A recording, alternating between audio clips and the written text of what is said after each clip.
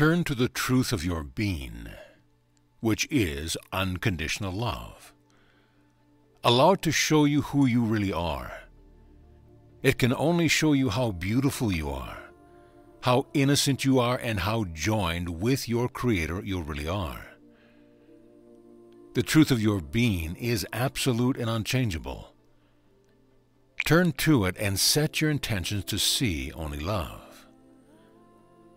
You are loved and blessed eternally. Namaste.